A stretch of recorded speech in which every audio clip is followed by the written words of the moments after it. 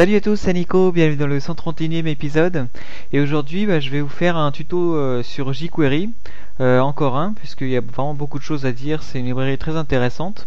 Euh, au début, je voulais vous faire juste vous montrer la petite astuce qui concerne la mise en place d'une animation d'une couleur de fond, puisque bah, par défaut, on peut pas mettre la on peut pas jouer sur la propriété background color dans la fonction animate de jQuery, puisque c'est pas inclus dans la librairie par défaut. et bah, si on veut le mettre en place, il faut euh, mettre, euh, faut installer tout, euh, tout le plugin jQuery UI, donc ça fait assez lourd pour juste une petite fonctionnalité si on a juste besoin de, cette fonctionnalité là. donc je vais vous montrer les quelques lignes qu'il fallait mettre, qu'il fallait rajouter dans son fichier JavaScript pour autoriser justement l'animation de, de, la couleur de fond. mais c'est un peu léger pour faire un tuto vidéo, donc bah, j'ai décidé de vous montrer un peu plus de choses dans cette vidéo tout en euh, vous montrant bien sûr comment mettre en place cette animation de, couleur de fond. Alors bah, pour, euh, pour faire un tuto un peu plus intéressant, bah, euh, j'ai récupéré un tableau sur internet, c'est un tableau qui concerne les salaires annuels moyens en Europe. donc ici pas grand chose de, très intéressant. En fait ce que je vais vous montrer c'est comment rajouter un formulaire en dessous. Donc ça c'est assez simple, c'est du HTML, c'est trois lignes en HTML. Euh, et ensuite, bah, surtout, comment euh, rajouter avec euh, jQuery la, capture de l'envoi de ce formulaire-là pour éviter que la page se recharge et également bah, mettre en évidence les lignes qui correspondent au texte qu'on a indiqué dans le champ de recherche. Euh, donc je vais mettre ça en évidence en changeant la couleur du fond. Je vais mettre la couleur de fond en rouge et puis bah, je vais mettre de l'animation pour que petit à petit ça revienne à, la couleur de normale qui était euh, blanc. Donc c'est parti. En fait, euh, j'ai déjà préparé un peu ce tuto là. Donc il n'y a pas grand chose. Vous allez voir, il y a un fichier HTML index.html. Et ensuite j'ai un dossier JS dans lequel j'ai la dernière version de jQuery et j'ai mon fichier tuto.js que je vais maintenant euh, remplir euh, qui pour le moment est vide. Donc si je vais sur euh, mon notepad++ là on voit c'est mon fichier index.html qui correspond à la page que je vous ai montré dans ce fichier donc j'ai le titre j'ai le gros tableau que je directement copié collé depuis la source depuis une page internet. Et Également, j'ai euh, dans, euh, dans ma balise aide, j'ai euh, l'inclusion des deux scripts que je vous ai montré, des deux scripts JavaScript, donc la librairie jQuery et également mon fichier tuto.js qui pour le moment est complètement vide. Donc voilà, et puis donc bah, je vais commencer à faire les changements. D'abord en rajoutant deux sauts de ligne pour bien faire la séparation avec le formulaire. Et c'est parti, je commence à développer mon formulaire. Donc je vais lui mettre une euh, action par défaut. Donc l'action c'est la page vers laquelle la page de destination vers laquelle euh, le formulaire va aller euh, lorsqu'on va l'envoyer. Donc moi je vais envoyer la même page même si vous verrez que on n'aura pas à envoyer la page complètement. Ok, donc je referme directement ma balise et à l'intérieur bah, je vais indiquer simplement un champ de texte donc input type texte je vais lui définir que euh, dedans ce sera le, name égale txt. Euh, voilà. Et ensuite un petit bouton pour envoyer. Donc celui-là c'est un input de type égale submit. Euh, et puis bah, celui-ci pour définir le, texte affiché sur le bouton ce sera la propriété value dans laquelle je vais indiquer rechercher voilà, je sauvegarde. Si je retourne maintenant sur euh, ma page et que je rafraîchis, donc on voit que j'ai mon champ qui s'affiche ici et mon bouton recherché. Et quand bah, je vais indiquer quelque chose euh, dedans, euh, voilà, ça va recharger complètement la page, mais c'est pas exactement ce que je veux. Donc moi, bah, je vais retourner ici et maintenant bah, je vais commencer à développer mon tuto.js. Il faut bien d'abord l'inclure dans la, balise aide. Et voilà, donc je, commence à développer. Si vous avez déjà suivi mes tutos euh, sur jQuery, euh, vous comprenez euh, ces premières lignes là, le document.ready. donc il y a d'autres manières de faire, bien sûr. Voilà. Donc là, j'ai commencé à définir euh, que tout ce qui sera contenu à l'intérieur, ce sera euh, exécuté uniquement lorsque le, document sera chargé. Et en fait, là, ce que je vais faire, c'est que je vais capturer euh, l'envoi d'un formulaire. donc c'est mieux de faire de capturer l'envoi d'un formulaire plutôt que le clic sur le bouton Submit, parce que ben, le formulaire, on peut également l'envoyer lorsqu'on va presser le bouton Entrée sur le champ de texte. Donc là, bah, pour capturer le formulaire, je pourrais faire euh, $form. Mais là, je vais capturer tous les formulaires de la page, donc ça va marcher dans ce cas-là puisque j'ai qu'un seul formulaire, mais le mieux c'est vraiment de donner euh, un ID au formulaire, donc c'est ce que je vais faire maintenant. Donc ici, je vais appeler ce formulaire mon underscore formulaire. Voilà, et ensuite euh, de récupérer ce formulaire là en faisant dollar dièse de mon formulaire. Et là, j'aurais récupéré euh, l'élément euh, formulaire, cet élément-là. Et en fait, ce que je vais faire pour euh, capturer tous les envois sur ce formulaire, je vais faire .submit. Et ici, bah, je vais définir une nouvelle fonction. Et cette fonction-là, elle va être appelée à chaque fois que mon formulaire va être envoyé. Voilà, sauf que bah, si je laisse tel quel, je vais cliquer euh, sur euh, rechercher, sur le bouton rechercher, ça va euh, passer dans la fonction, mais également bah, à la fin ça va envoyer réellement le formulaire et donc ça va me recharger complètement la page. Donc pour éviter de recharger complètement la page ou d'envoyer le formulaire complètement et donc d'aller à la page de destination, bah, je vais faire à la fin de ma fonction un return false et comme ça bah, je vais simplement exécuter le contenu de ma fonction et m'arrêter à la fin sans euh, envoyer complètement le, formulaire. Donc voilà, je suis là et maintenant bah, la première chose à faire c'est de récupérer euh, le texte à rechercher. Donc moi c'est ce que je vais mettre dans la variable texte et euh, donc pour cela je peux récupérer l'élément qui se trouve dans mon formulaire, donc le formulaire d'ID mon formulaire et ensuite le input type texte mais là encore ce sera le même problème si euh, pour le moment j'ai qu'un seul euh, input de type texte donc ça va fonctionner. Mais plus tard si je souhaite rajouter d'autres éléments euh, il va falloir que bien je différencie chacun de ces, de ces inputs type texte. Donc là je vais lui donner pareil un ID pour définir l'élément. Alors pour rappel on peut nommer les éléments avec un ID ou une classe. Donc l'ID ce sera on va récupérer avec dièse euh, c'est les sélecteurs CSS, on va récupérer les ID avec euh, le préfixe dièse et les classes avec le préfixe point. Euh, mais dans, les standards de HTML, il y a une différence entre ID et classe puisque un ID est unique dans la page alors qu'une classe, on peut trouver différents éléments avec la même classe. Donc là, comme mon élément doit être unique dans la page, je lui donne un ID. Et donc là, bah, ce sera l'ID, je vais lui donner le même nom que l'attribut name euh, de cet input. Donc là, ça va être txt. Et donc, bah, je vais récupérer cet élément avec dièse txt. Voilà, et en fait pour récupérer euh, son contenu, bah, je vais récupérer l'attribut euh, value, donc attr de value.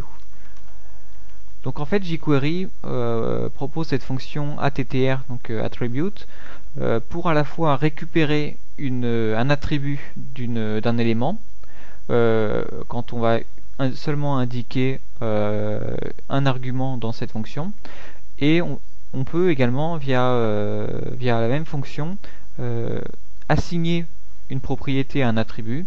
Et là bah, dans ce cas là il faudra indiquer deux arguments. Donc l'attribut sur lequel on va effectuer la modification et ensuite la modification à exécuter par exemple pour indiquer mon nouveau texte comme ça voilà. Mais là, pour un moment, je vais simplement récupérer la valeur euh, contenue dans mon champ. Donc je fais comme ça. Et ensuite, bah, je vais simplement afficher le, texte euh, contenu. Voilà, j'enregistre. Donc pour afficher, je fais une petite alerte. Et je vais retourner sur ma page. Je vais rafraîchir. Et ici, je vais indiquer euh, mon test. J'envoie. Et donc on voit que j'ai une petite fenêtre qui s'affiche avec mon test. Donc là, ça fonctionne bien. En plus, on n'a pas été redirigé, donc euh, ça fonctionne bien. Notre return false a bien été pris en compte. maintenant ce que je vais faire c'est que je vais retourner sur mon fichier et au lieu d'afficher cette alerte bah, je vais rechercher toutes les lignes de mon tableau qui contiennent euh, ce que j'ai indiqué, qui contiennent donc ma variable texte. Et pour faire ça, bah, il y a une fonction très utile euh, dans jQuery, donc attention, elle peut être un peu lourde, c'est la fonction each.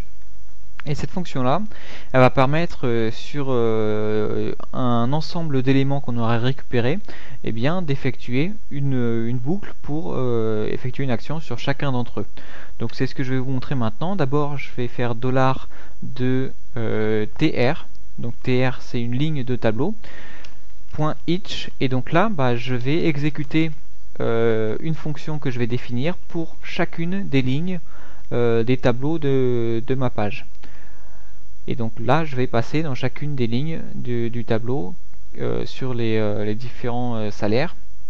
Et donc ensuite à l'intérieur de cette fonction bah, je peux faire référence à la ligne en cours en faisant dollar de this. Et donc là, sur euh, dollar $6, ça définit donc euh, la ligne en cours euh, du tableau que je suis en train de parcourir. Et donc là, maintenant, pour récupérer le, le, texte de cette ligne-là, j'ai une fonction jQuery texte, voilà, simplement. Et cette fonction-là, la différence de la fonction HTML, c'est que celle-ci va euh, éliminer tous les tags HTML et donc je vais récupérer simplement le, texte pur. Donc ça, ça peut être sympa. Donc si je, vais, si je fais ici une alerte, euh, ça va être un peu plus, euh, un peu plus lourd puisque je vais, au moment où je vais envoyer mon, formulaire, voilà, je vais afficher les contenus de chacune des lignes du tableau. Donc ça, ça va se répéter ainsi de suite, pour afficher les pays, les salaires, etc.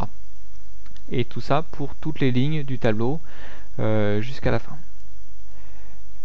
Donc ça c'est bien, pour l'instant j'ai réussi à récupérer le texte de chacune des lignes et maintenant ce que je vais faire en fait c'est comparer euh, le texte de chacune des lignes du tableau avec le texte que je recherche. Et donc bah, c'est ce que je vais faire maintenant avec euh, la fonction JavaScript indexOf. Donc index et donc euh, euh, indexOf c'est une fonction qui permet de rechercher un ensemble de caractères dans une chaîne. Et donc euh, ici je vais lui indiquer txt index of txt et en retour ça nous retourne la position de cet ensemble de caractères qu'on recherche dans la chaîne ou bien moins 1 si le, ça n'a pas été trouvé donc là, je vais faire un test si dans mon texte, le index of de txt est supérieur à moins 1. Donc si en fait on a trouvé le texte qu'on recherche, alors bah, je vais pouvoir commencer à effectuer euh, mon changement de couleur sur la ligne. Donc là pour le moment, bah, je vais simplement faire une alerte pour afficher le texte de la ligne là où on aura trouvé euh, le, le texte qu'on recherche. Ok, je sauvegarde. Donc là, par exemple, je vais chercher Espagne.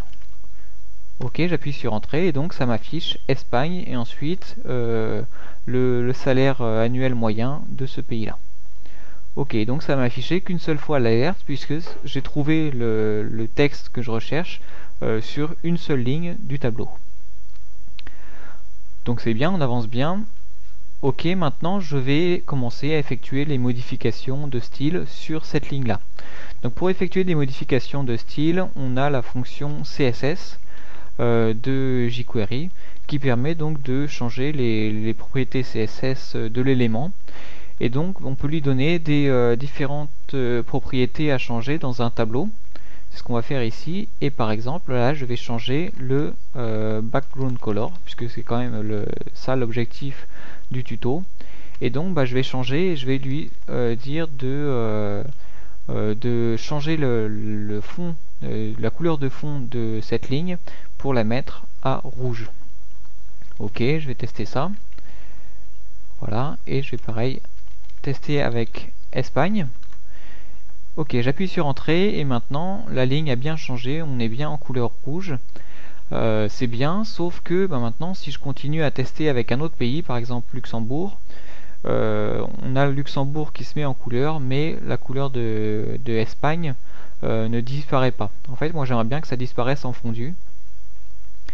Et donc bah, pour faire ça, je vais retourner là-dessus et j'ai une fonction que je vous avais déjà présentée dans un autre tuto qui s'appelle animate et qui permet donc de changer progressivement les propriétés CSS euh, d'un élément changer progressivement les propriétés de style d'un élément et en fait le problème c'est que moi j'aimerais bien faire animate de background color euh, et là de mettre ça à blanc, donc la couleur de départ, euh, et lui indiquer de faire ça euh, en 3 secondes. En fait, de revenir progressivement, donc d'effectuer directement le, changement de la couleur de fond et de mettre ça en rouge directement, et ensuite de d'effectuer progressivement le retour à la couleur de fond blanc comme c'était avant. Sauf que ben, jQuery ne permet pas, comme je vous l'ai dit en début de la vidéo, euh, ne permet pas de revenir progressivement, euh, de, de, faire le changement progressif euh, d'une couleur de fond. et donc bah, c'est pour ça qu'il va falloir faire appel à un plugin. Et ce plugin là, c'est un plugin qui s'appelle jQuery.color.js qu'on trouve sur GitHub. mais en fait, dans les sources, il n'y a pas de source euh, dans laquelle on aura supprimé tous les espaces, tous les sauts de ligne. Donc euh, en fait moi c'est ce que euh, j'ai récupéré autre part et sinon on peut le faire soi-même. et c'est ce que je vais vous fournir moi dans, dans les fichiers de ce tuto. C'est un ensemble de lignes qui en fait représente exactement ce que je viens de vous montrer. Donc je vais retourner sur mon Notepad++ et au début de mon tuto.js, bah, je vais inclure ces différentes lignes. Et en fait, bah, juste c'est ces euh, quelques lignes là elles vont permettre de mettre en place l'animation sur euh, une couleur de fond. C'est ce qui manquait à la librairie d'origine de jQuery, ce qui a été implémenté dans jQuery UI. Euh, mais bah, comme je voulais pas inclure toute la librairie jQuery UI qui est assez lourde, simplement pour mon besoin que, j'ai là, ben, je vais inclure ces quelques lignes là et ça devrait suffire. Donc maintenant, je vais retourner sur la page de mon tuto et je vais refaire le test en espérant que ça fonctionne. Voilà. Maintenant, comme vous l'avez vu, bah, Espagne s'est affiché et on est revenu progressivement. Euh, pareil, je peux faire le test avec euh, Lituanie. Voilà. Donc ça s'affiche bien, ça, revient à la couleur normale progressivement. Euh, sauf que bah, j'avais repéré un petit bug tout à l'heure. C'était par exemple si j'affiche Italie ensuite Irlande si j'affiche euh, si je, fais le test plusieurs fois ensuite on arrive à un moment où quand je fais la recherche ça fait le changement directement et en fait parce que l'animation n'a pas encore terminé avant que je refasse l'appel pour le même pays et donc ça bloque complètement euh, le, fonctionnement futur. Et il y a une fonction très utile euh, quand on joue avec la fonction animate, c'est la fonction stop. Donc la fonction stop, c'est celle que je vais faire en tout début euh, de, ligne, lors de mes changements de, style. Et cette fonction-là, elle permettra de stopper simplement euh, toutes les animations qui étaient en cours sur l'élément et donc de ne pas faire de, pas créer d'incohérence entre la fin d'une animation et le début d'une autre et donc ça permettra de pouvoir exécuter plusieurs fois la, recherche sur un même pays sans créer de problème. Donc ça c'est une fonction très intéressante. Si vous avez euh, un jour un problème avec euh, la fonction animate, vous comprenez pas pourquoi lorsque vous appelez plusieurs fois la fonction animate sur un même élément, ça fonctionne au début mais plus ensuite, bah essayez d'appliquer cette fonction stop et vous verrez que ça peut euh, quelquefois résoudre des, soucis un petit peu euh, difficiles euh, à trouver. Donc là, je vais revenir et je vais refaire le test pour Italie, Irlande, I, voilà.